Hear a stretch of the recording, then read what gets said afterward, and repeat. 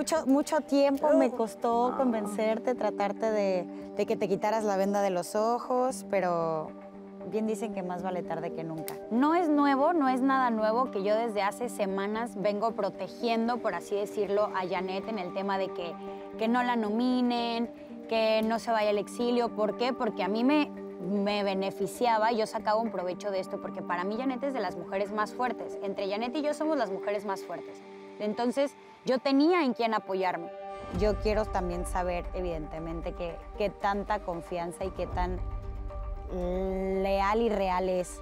Y que no vaya a ser como ha pasado las demás semanas, pero por atrás la mano Sí. con los demás. ¿Me explico? Sí. Ahora sí, desde mí, creando estas estrategias. Y qué bueno que salió esta alianza. Ahora sí que voy a confiar en ellos y pues también ya lo platicamos, ellos también en mí. Esperemos que funcione.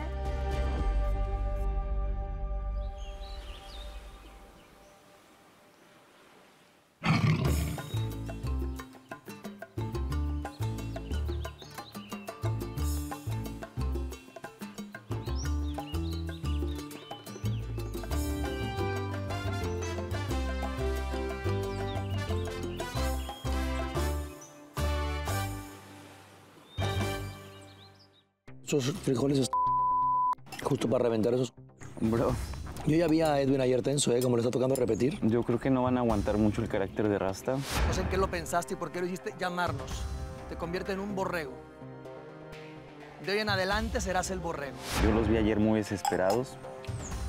Y Rasta, pues es muy difícil de, de manejar porque constantemente te está gritando, ni humilde. Creo que no van a aguantar. Sí, yo vi cómo los desconcentraba a todos. O sea, Sí. le gritaba a Lu, le gritaba a Itzel, a Janet, a todos. Y todos ya- empezaban a, a Se pone tenso. Se pone muy tenso. Yo creo que si no se pone las pilas con los collares de inmunidad individual, Lo van a volar. Lo van a volar pronto. Sí. Si Rasta se une con las chicas, empiezan a votar por ellos y se ganan inmunidad Sí.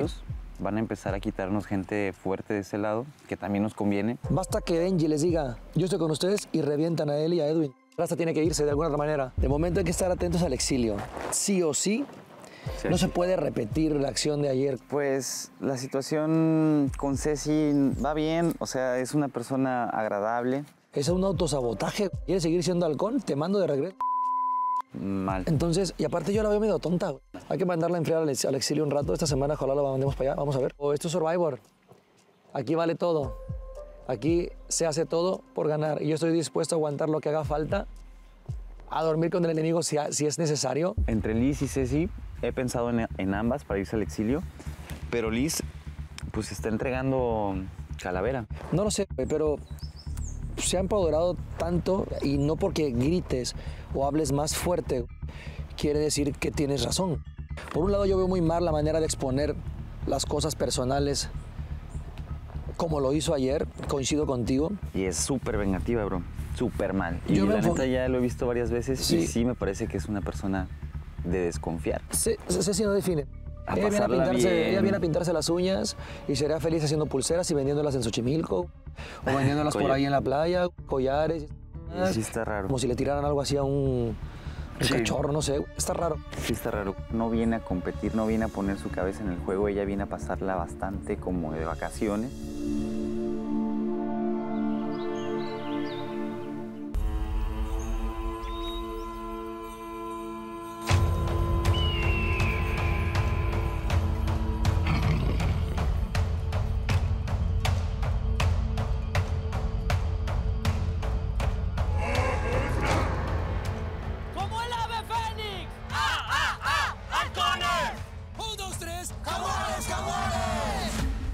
Jaguares, qué gusto verlos. Esto es Survivor México, momentos cruciales en esta aventura. Alcancé a escuchar al instante en el cual arriba esta ceremonia, Halcones, como una voz por ahí apareció y me pareció que fue la de Rasta, manifestando y diciendo, día cero, iniciamos de nueva cuenta. Es una buena frase para intentar hacer mejor las cosas, para salir adelante de esta situación y conseguir todo lo que tenga yo que presentarles como recompensa. Bien por esa parte, Rasta, hay que contagiar de alguna manera el ánimo, la motivación. Ayer hablábamos de la mentalidad, días difíciles, cuánta información la que se les ha hecho saber, cuántas cosas. Esas cabezas deben de estar a mil por hora, pensando, maquinando tantas cosas, tantas posibilidades, tantas situaciones que pudieran presentarse. Pero como siempre se los digo, preocúpense por el hoy, preocúpense por la siguiente prueba, por lo que esté por llegar, preocúpense por hacer bien las cosas. Y si abrazan esos triunfos, esas victorias, lo demás saldrá solito. Así que a dejarlo todo, como siempre lo han hecho halcones y jaguares. Venga, gracias, Warren. Un día a la vez. Un día a la vez. Me gusta eso, un día a la vez. John, ¿querías decir algo? Hoy voy sin machete porque vengo en plan amistoso. Entonces, ¿cómo están? Soy John Good, su amigo, servicio a la comunidad. Este, nada, solamente comentarles, este es un mensaje especialmente para Itzel. Itzel, Lu, el señor de los 50 y Janet, ustedes son cuatro, allá hay otros tres, hacen un número perfecto que se llama siete. Genial. Creo que les podría ayudar a describir su semana. Cuatro contra tres, pueden cambiar la capitanía. ¡Pam! El primero. Cuatro contra tres, pueden dirigir el exilio. ¡Pam! El segundo. Cuatro contra tres, seguramente pudiera haber alguna consecuencia en, en- en- en el collar de inmunidad si recae entre los cuatro. ¡Pam! El tercero. Y pueden manejar el consejo tribal. Organícense. Primera vez que son mayoría. Creo que pueden hacer algo interesante y creo que pueden cambiar un poquito el curso. El último comodín eres tú, Benji. Que pueden ser 5 contra 2, no lo sabemos. Puede ser tu oportunidad de sacarte la espina del exilio, no lo sabemos. 4 contra 3 es un número mágico. Dejarlo ahí, cualquier cosa, ya saben dónde estoy. Me llaman, soy John Good, soy en Jaguares. Gracias, John. ¿Alguien de halcones quiere responder? Sí, yo. Nuevamente, nuevamente de nuevo otra vez. Te lo pedí el día de ayer en la ceremonia, te lo vuelvo a pedir el día de hoy. De tu tapete para allá. ¿Para qué tienes que venir a meter cizaña, a comentar hacia la tribu rival? Que como el nombre lo dice, rival, no es tu tribu para que vengas a meter cizaña, a hacer tu juego mental, tu juego psicológico, a que salgan las cosas como tú quieres, estratégico y malévolo, John. Por favor, ahora te lo pido, por favor, de tu tapete para allá. No te estamos pidiendo tu opinión, no te estamos pidiendo tus consejos ni tus estrategias. Eso a tu tribu, a ellos sí les importa, a nosotros definitivamente no. Te lo agradezco. Hágase, ca- hágase cargo de lo que a usted le compete, señor Cuando uno capitán. va sin estudiar nosotros nos hacemos cargo de lo que nos compete a nosotros. Gracias por el comentario, por los consejos y por No lo sabía que que eras familiar de. Cantinflas, eh, una disculpa. Chile, cuando quieras. Eh, yo nada más quería decir algo que trata de decir John y la tribu jaguar es que eliminen a los fuertes, ahora a los más débiles de allá, que son mayoría. Y nada más. Déjame subo los pantalones. ¡Toma eso! Piensen en fusión, igualmente van a llegar a fusión, pero pueden llegar lo menos raspados. Solo ustedes lo deciden.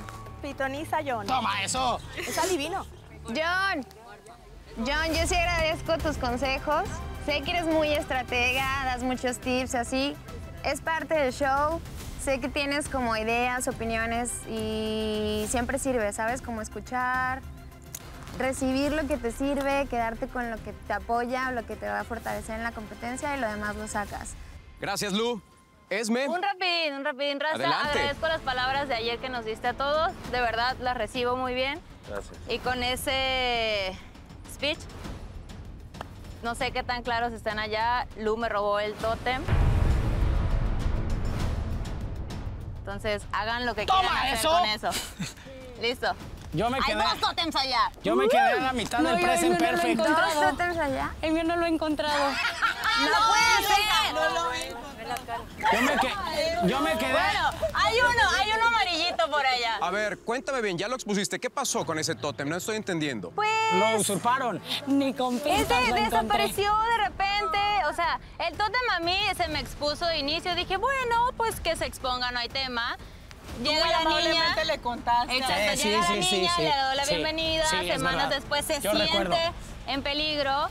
No sé qué manos fueron específicamente las que entraron a mi mochila y lo sacaron, porque con tal cual claridad había en Jaguares, pero pues de repente en Consejo Tribal y en Jaguares y todo, se ha hablado, se expuso, se chalala. Lu lo tiene. ¡Toma eso! Pero dijiste que no sabes, no sé No O sé sea, quién ¿por qué fue. te consta O sea, que no yo sé si? Lu o sacó Ah, entonces tal no cual. sabes. No, sí lo tiene ella ya. O sea, ¿sí o no? sí. Sí, sí, lo O Pero sea, ¿por no sé te quién lo consta que sacó. lo agarré o que que lo yo tiene, lo tengo? tiene. Dijeron, ya Ajá. ya, ya Y si no creen en algunas personas, ¿por qué de repente No, sí, creen en algunas sí personas? hablado, creemos. Ya hay mucha confianza creemos en eso, Acá ya. ya lo hemos hablado. Ajá. Acá estamos Pero bien. listo. O sea, igual en la información digo iba que- para Rasta, como lo quieras recibir y todos los demás que escuchen también. Listo, ahí está, pum. Soy su amigo John Goods, estoy en Jaguares, cualquier cosa me llaman. Aquí estoy. Justo, o sea, por eso va. De nada. No pueden estar tan seguros de lo que les contaron. Recuerden que esos tótems de Si inmunidad no, son estando en riesgo, para lo el momento en que lo pido en algún consejo tribal. Sí, señor. Y es para quien lo tiene. Exacto.